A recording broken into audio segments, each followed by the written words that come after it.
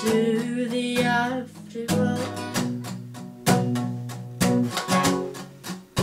Oh, I will hold on to the afterglow.